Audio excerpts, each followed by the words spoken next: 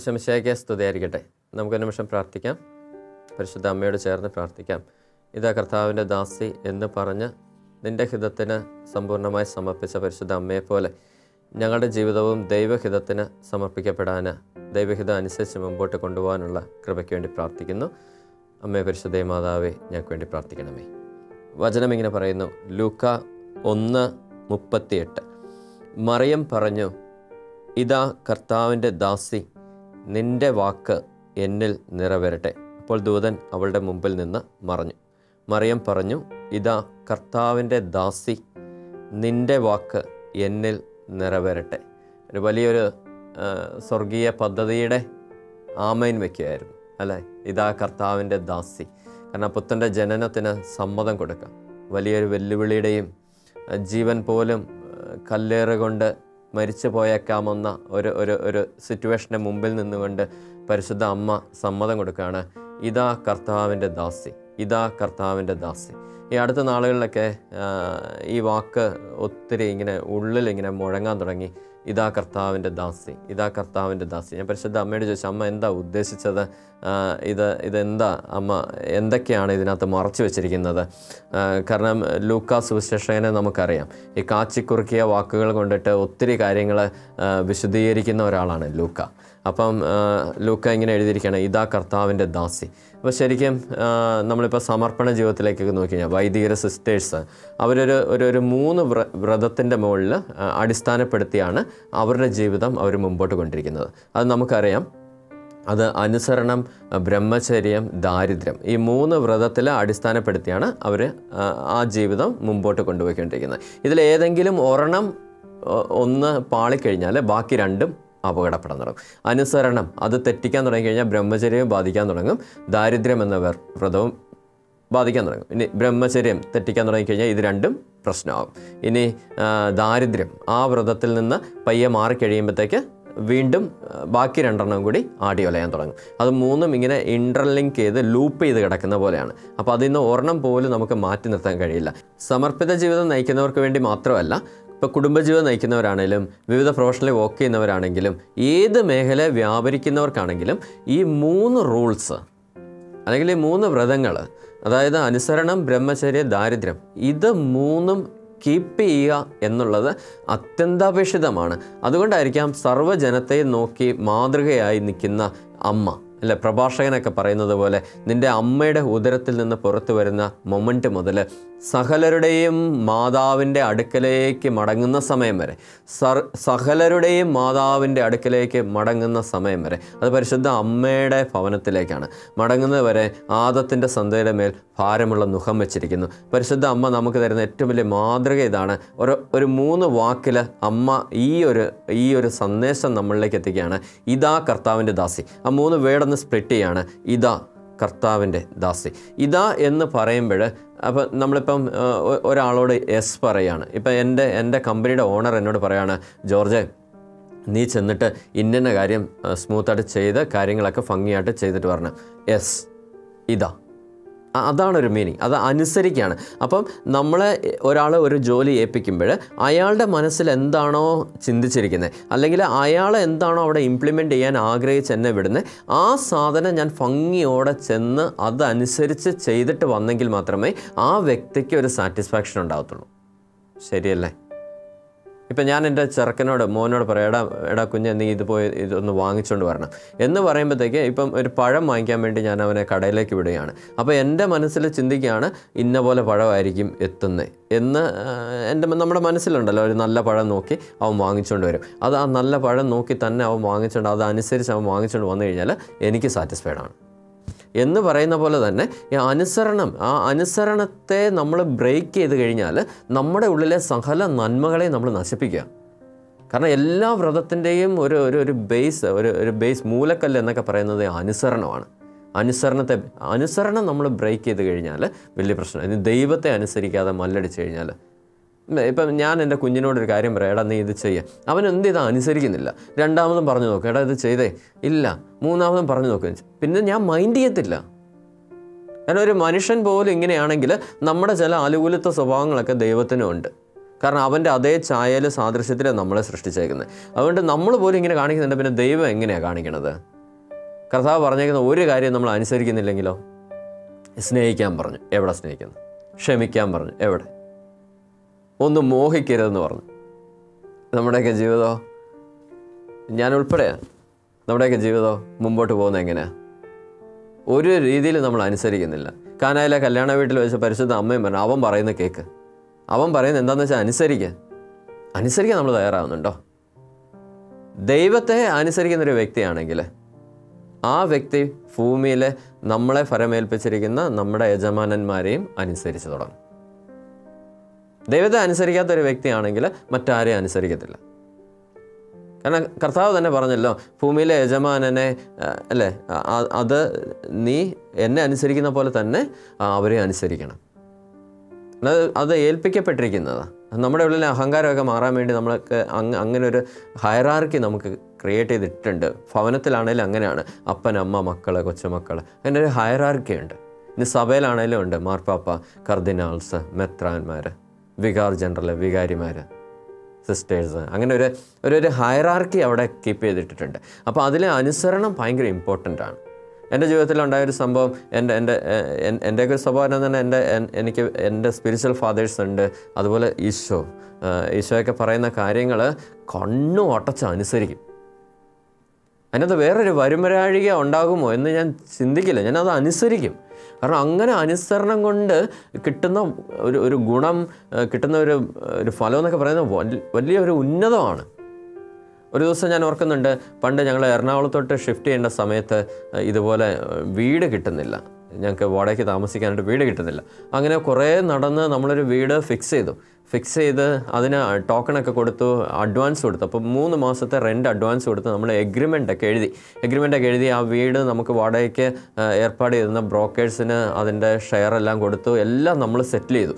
അങ്ങനെ ഇരിക്കുന്ന സമയത്ത് നമ്മളിപ്പോൾ നാളെ കഴിഞ്ഞ് ഇങ്ങോട്ട് ഷിഫ്റ്റ് ചെയ്യുകയാണ് അപ്പം ഇന്ന് രാത്രി എന്റെ സ്പിരിച്വൽ ഫാദറുമായിട്ട് ഇങ്ങനെ ചുമ്മാ സംസാരിച്ച് പ്രാർത്ഥിച്ചപ്പോഴത്തേക്ക് അച്ഛൻ പെട്ടെന്ന് എന്നോട് പറയുക ജോർജെ ആ വീട് നീ എടുക്കണ്ട.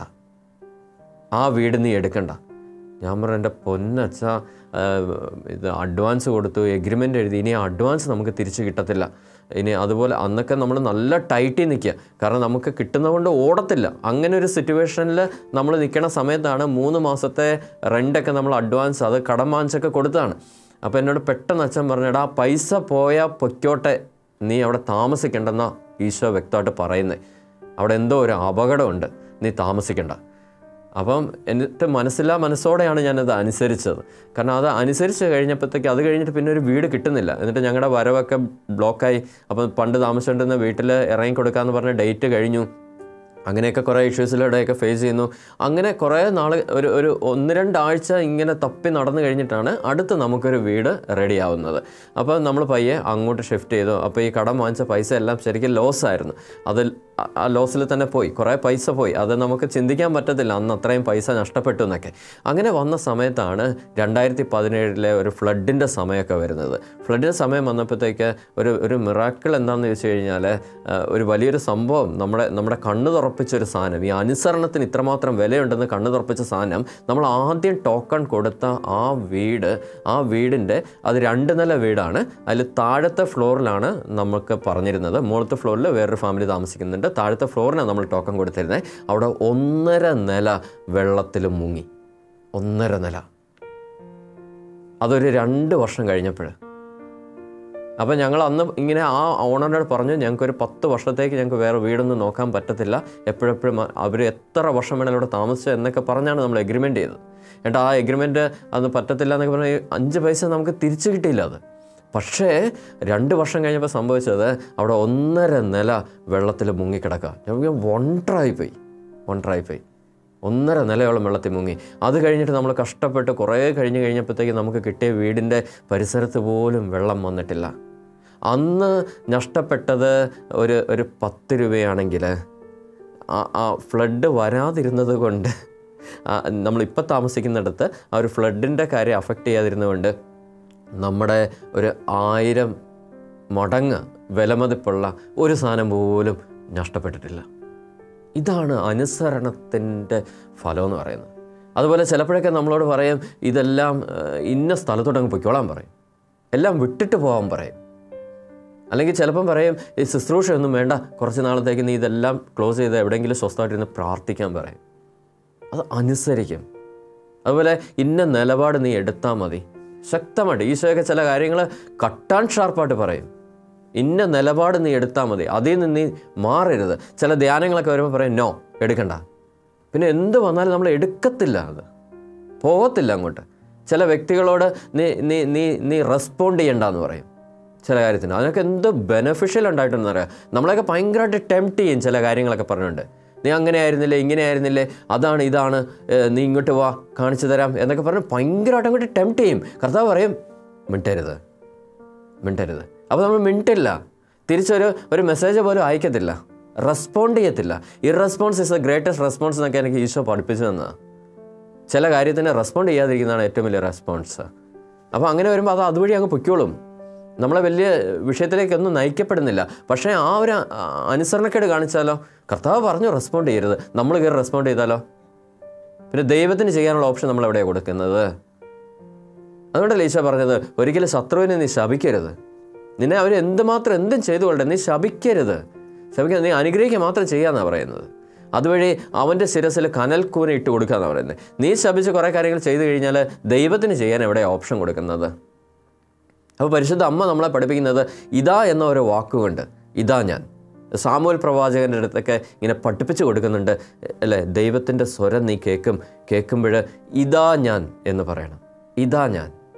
ഇതാ ഞാൻ. യേശയ പ്രവാചന്റെ പുസ്തകത്തിൽ ആറാം അദ്ദേഹത്തിലൊക്കെ നമ്മൾ വായിച്ചു കേട്ടിട്ടുണ്ട്. പരിശുദ്ധ ത്രീത്വത്തിന്റെ ഹൃദയത്തിന്റെ വിങ്ങൽ ഏശയ കാണുകയാണ്. നമുക്ക് വേണ്ടി ആര് പോകും? നമുക്ക് വേണ്ടി ആര് പോകും? അപ്പോൾ ഏശയ തിരിച്ച് ഉത്തരം കൊടുക്കുകയാണ്. ഇതാ കർത്താവേ ഞാൻ എന്നെ അയച്ചാലും. ഇതാ കർത്താവേ ഞാൻ എന്നെ അയച്ചാലും. ഇതാ ഇതാ.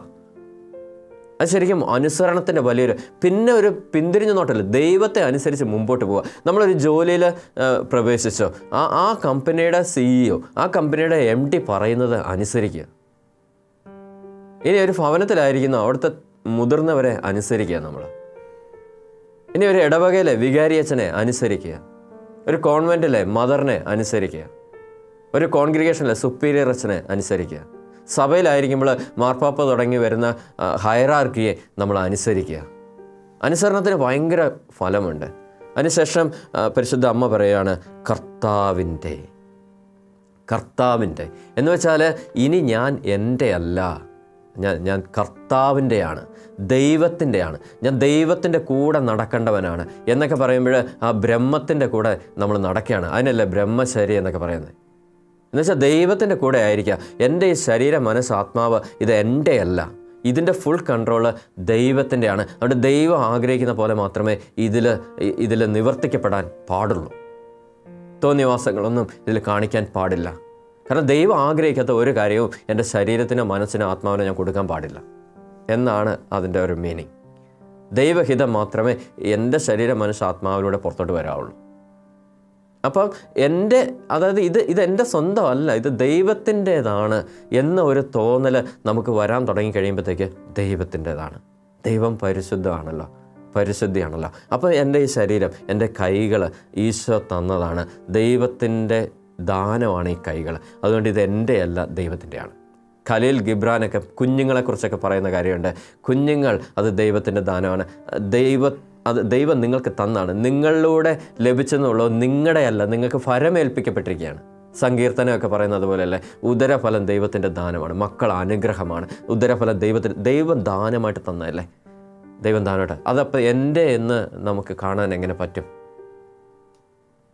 അതുകൊണ്ട് നമ്മൾ ഉപയോഗിക്കുന്ന എന്ത് ഇപ്പം നമ്മളൊരു കമ്പനി വർക്ക് ചെയ്യുന്നു അവർ തരുന്ന കാര്യങ്ങൾ നമുക്ക് വർക്കിനായി തരുന്ന ഓരോ കാര്യങ്ങൾ ഇപ്പോൾ ലാപ്ടോപ്പ് ആയിക്കോട്ടെ എക്യുപ്മെന്റ്സ് ആയിക്കോട്ടെ വാട്ട് എവർ ഇറ്റ് ഈസ് അത് എന്റെ അല്ല.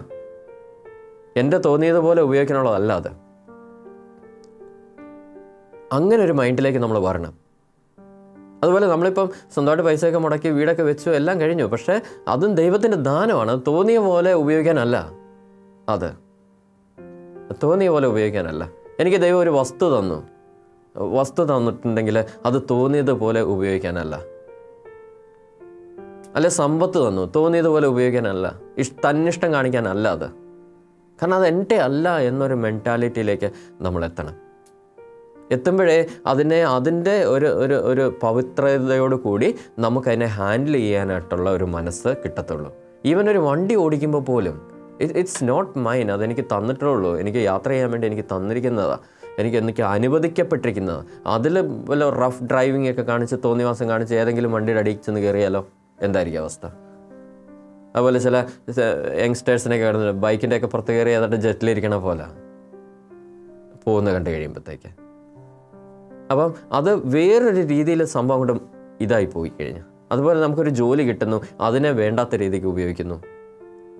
അതെല്ലാം ഒരു ഒരു ഒരു വല്ലാത്തൊരു അവസ്ഥയിലേക്ക് നമ്മളെ കൊണ്ട് എത്തിക്കാറുണ്ട്. എന്നെയും കൊണ്ട് എത്തിച്ചിട്ടുണ്ട്. പലപ്പോഴും എന്റേതാണ് എന്റെ എന്റെയാണ് എനിക്ക് ഇഷ്ടമുള്ളതുപോലെ ഞാൻ ചെയ്യും എന്ന് ഞാൻ എവിടെയൊക്കെ തീരുമാനം എടുത്തിട്ടുണ്ടോ അവിടെയൊക്കെ എനിക്ക് പണി കിട്ടിയിട്ടുണ്ട്. അതേസമയം ഇത് എന്റെ അല്ല എന്നെ ഫരമേൽപ്പിക്കപ്പെട്ടതാണ് എന്നൊരു ചിന്തയിലേക്ക് നമ്മൾ വരുമ്പോൾ അല്ലേ? ഇപ്പോൾ കാവൽക്കാരന് കൂലിക്ക് അർഹനാണ് അല്ലെ ജോലിക്കാരന് കൂലിക്ക് അർഹനാണ്. അപ്പോൾ അതുകൊണ്ട് ഫരമേൽപ്പിക്കപ്പെട്ട കാര്യം നമ്മൾ ഭംഗിയായിട്ട് ചെയ്ത് കഴിയുമ്പോഴത്തേക്ക് നമുക്കതിന്റെ കൂലി തരുന്നുണ്ട്. അപ്പോൾ ഏൽപ്പിക്കപ്പെട്ടിരിക്കുന്ന കാര്യങ്ങൾ. ഇവൻ ഞാനൊക്കെ എപ്പോഴും നോക്കാറുണ്ട് കമ്പനിയുടെ പേരിൽ ഔട്ട് ചെയ്തിരിക്കുന്ന കാര്യങ്ങൾ. എന്റെ പേരിൽ ഔട്ട് ചെയ്തിരിക്കുന്ന കാര്യങ്ങൾക്ക് ഒരു ഡാമേജോ കാര്യങ്ങളോ ഒന്നും വന്ന് വരാനായിട്ട് പറ്റത്തില്ല.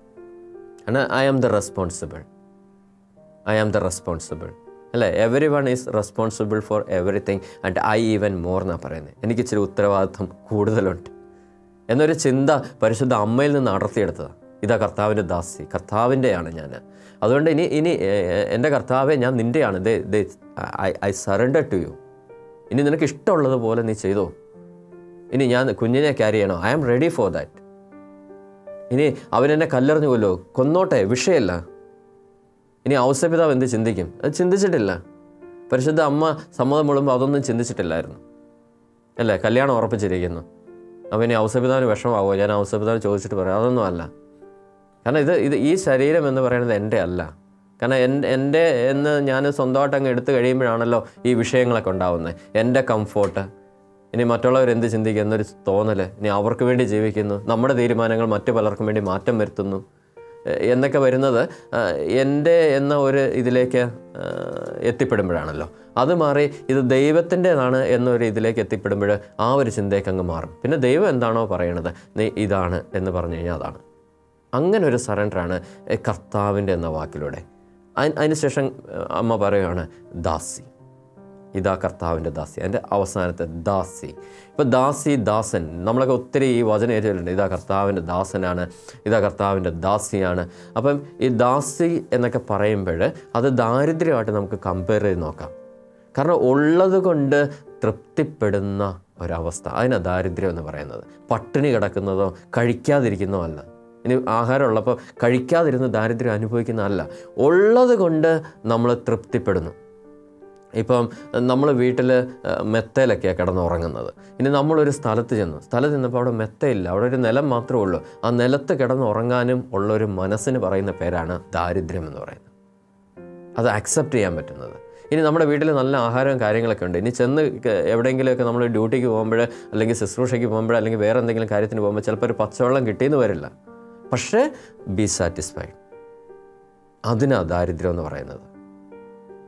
ഇനി ഒരു ഒരു ഒരു സംഭവം നമുക്ക് ഇത് ഇത് വേണമെങ്കിൽ എടുത്ത് എനിക്ക് ഉപയോഗിക്കാം. പക്ഷേ അത് ഉപയോഗിക്കാതിരിക്കാൻ കാണിക്കുന്ന ഒരു മനസ്സ്. അതിന് ദാരിദ്ര്യം എന്നൊക്കെ പറയും. അപ്പം ആ ഇതാ കർത്താവിന്റെ ദാസി എന്ന ആ ഒരു മൂന്ന് വാക്കിലൂടെ ഒരു ഒരു ഒരു ഉള്ളത് കൊണ്ട് തൃപ്തിപ്പെടാനായിട്ട് പരിശുദ്ധ അമ്മ നമ്മളെ പഠിപ്പിക്കുക. ഉള്ളത് കൊണ്ട് തൃപ്തിപ്പെടാനായിട്ട്. കാരണം ഇനി ഒരു മാസം നമുക്കില്ലേ?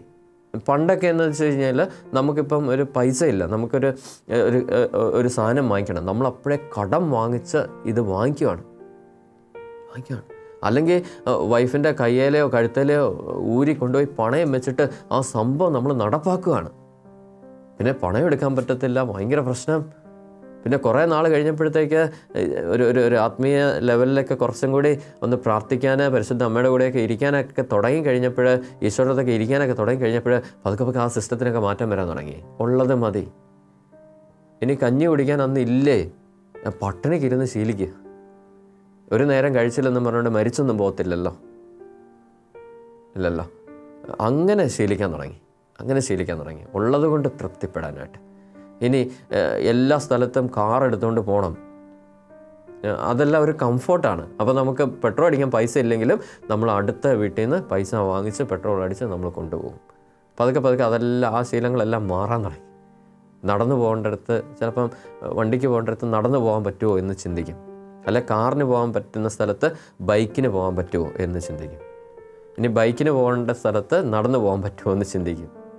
അങ്ങനെ താഴോട്ട് താഴോട്ട് ചിന്തിക്കാൻ തുടങ്ങി. അങ്ങനെ വന്നപ്പോഴത്തേക്ക് വീണ്ടും വീണ്ടും വീണ്ടും വീണ്ടും ഒരു ഒരു കുറേ സാറ്റിസ്ഫാക്ഷൻ ഉള്ളിൽ നിറയാൻ തുടങ്ങി.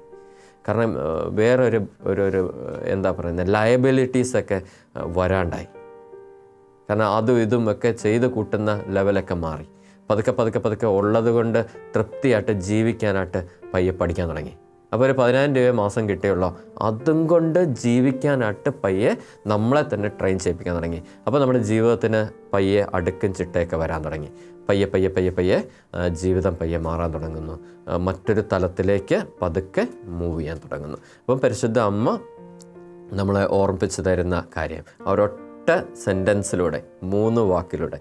ഇതാ കർത്താവിന്റെ ദാസി. ഈ അനുസരണവും ബ്രഹ്മചര്യവും ദാരിദ്ര്യവും കൂട്ടിയിണക്കി ഇതാ കർത്താവിന്റെ ദാസി എന്നൊരൊറ്റ വാക്കിൽ നീയും ഇതുപോലെ ദാസനാവണം ദാസിയാവണം. നീയും ഞാനും നമ്മളെല്ലാവരും അതുപോലെ കർത്താവിന്റെ ദാസനാവണം കർത്താവിന്റെ ദാസിയാവണം എന്നുള്ള ഒരു മുന്നറിയിപ്പ് പരിശുദ്ധ അമ്മ നമുക്ക് തരുന്നു. അമ്മേ ദൈവമാതാവേ നീ ആ സമ്മതം മൂളിയതുപോലെ ഇതാ കർത്താവിന്റെ ദാസി എന്ന് പറഞ്ഞതുപോലെ തന്നെ ഇതാ കർത്താവിന്റെ ദാസൻ എന്ന് പറഞ്ഞ് കർത്താവിൽ ജീവിതം ശരണം വെച്ച് മുമ്പോട്ട് പോകാനുള്ള കൃപ സ്വർഗത്തിൽ നിന്ന് നീ ഞങ്ങൾക്ക് വാങ്ങിച്ചു തരണമേ. ആമേ